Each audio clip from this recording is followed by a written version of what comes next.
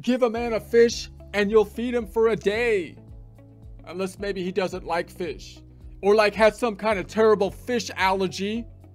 In which case, giving a man a fish could kill him. Hmm. Uh, poison, poison, tasty fish. But if you teach that same man who has like the fish allergy to fish, he can poison himself.